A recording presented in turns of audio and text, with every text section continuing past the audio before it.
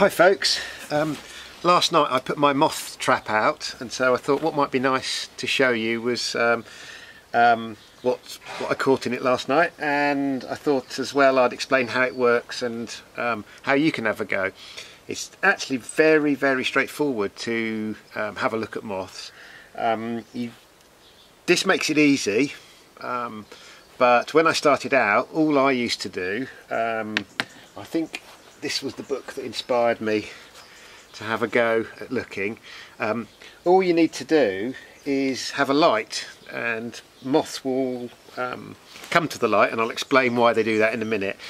Um, so what I used to do when I started out was I used to go out into my garden put a sheet out on the lawn and then take my bedside light out and just put that on the lawn and just sit out for the evening and it was really pleasant you'd, you'd have a nice evening out and uh, gradually all these beautiful creatures would come. Um, so, um, yeah, another um, easy way to do it, I, I, do it inadvertently, I expect some of you do it as well, is uh, just to leave a light on and leave a window open. So if you leave your kitchen light on or your bathroom light on, in the morning there may well be moths that you can have a go at uh, identifying. Um, but if you want to do it in a slightly more sort of structured, organised way, what you can do is have a trap like this one. And the way this works is you have a light source. Um, this uses what's called a mercury vapour bulb, which is really super bright. Uh, gives off lots of light, lots of ultraviolet light, which is what the moths are using to navigate by. Um, that sits there. And the moths they're not actually attracted to the light. The interesting thing is, um, what's happening is, of course, if they if they loved light, they could just come out during the day, but they're flying at night to avoid um, predators, avoid birds, I think. But of course, what's happened is that bats have evolved, so there are some predators around which uh, will gobble them up.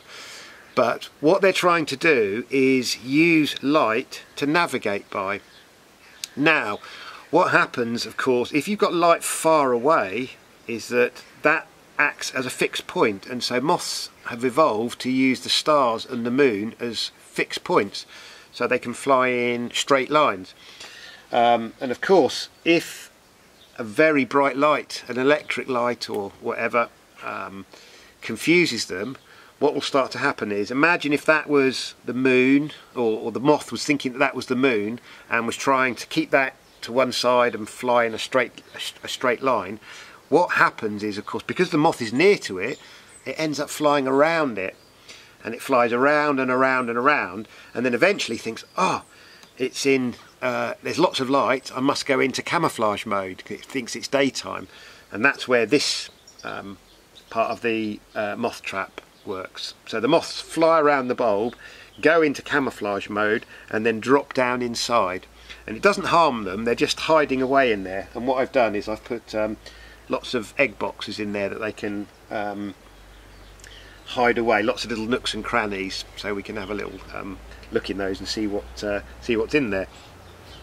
So um, that's the way it works. You can buy them or you can make your make your own. You can um, get the get the bulbs and the electrics online. It's quite a straightforward thing to do. Um, but should we have a look? Let's see what's inside. So last night it was quite um, cold, a little bit windy, which isn't ideal mothing conditions. What the very best weather is is when it's that kind of very still, very humid, and you know it's good because you get lots of flies around that in that kind of in that kind of weather. That that's when you get loads and loads of moths. Um, we're in mid to late June, which is peak time. Um, but we haven't got any of the really big moths. I've already had a little peep. We haven't got any of the really big um, hawk moths, so I might put the trap out again and, and have another, show you another time. But anyway, let's have a look. There's one thing I need, which is my glasses. Oh, and I'll tell you another thing that um, is very useful if you want to get into this, is getting yourself a good um, identification guide. So you'll need one of these, and this is um, a guide to the macro moths, which you might think means the big moths, which it, it sort of does, but there's also a guide, where have I put it? There it is. For the micro moths. and some of the micro moths are quite large. I had one in here a little while ago called a small magpie that actually escaped. It flew away that I was going to show you. But um, yes, so there's about um, 800, I think, macro moths, the bigger ones, and then about another thousand, I think, something like that, of the micros. So 2,000 species, piece of cake. Right, let's have a look then. What have we got? So, it's not a huge haul, but still some nice things to show you. Look at this lovely one. This one, they're quite um, skittish. It might fly away. But this is in a little, uh, in a group called the uh, Geometers, and this is called Clouded Silver. Have a look at that. Really pretty, delicate little moth. Can you see that? I'm worried the wind's going to catch it and make it fly away. But yeah, clouded silver. That's a bit. Oh yeah, look there we go. It's probably going to go. Yeah, there he goes. And then what else am I going to show you? Let's show you this one. This is a Noctuid. Uh, no, Arctiidae. I think these are in. Anyway, this is um, uh, can you see that one? A buff ermine. Looks like a uh, an ermine fur coat. There's a white version of this as well, very similar, closely related, but that's buff ermine. See that one? Very pretty, lovely colour. And then, oh look, have a look at this.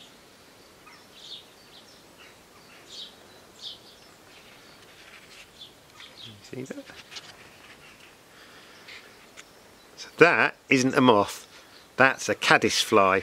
So you know the things that you get at the bottom of ponds that um, you might have seen them that cover themselves in um, little grains of sand or bits of vegetation. That's what they turn into. So look quite similar to a moth. Um, you can distinguish them. Look at those great big long thin antennae it's got there. Okay, so that's a caddis fly. Put that one to one side. What else have we got? Oh look, okay.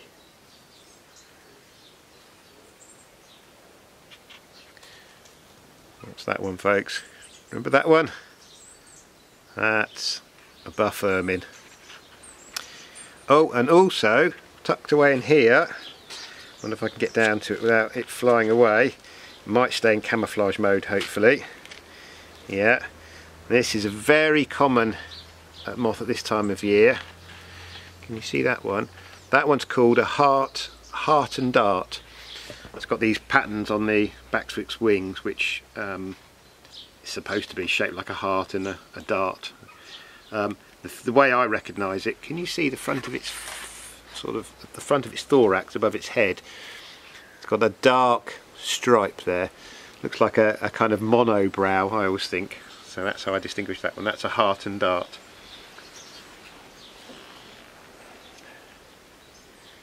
And then we've got, oh look at this one.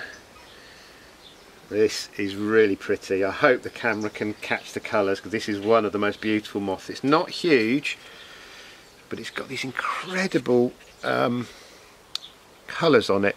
It's got, it's, it's metallic, but it's green. It's kind of got this iridescence. It's called burnished brass, and it is just the prettiest. I don't know if the light is catching that. It's incredible. I wonder why, how is it evolved to be that colour? There are some really beautiful moths. Some of them are a little bit subtle, but they're just fantastic.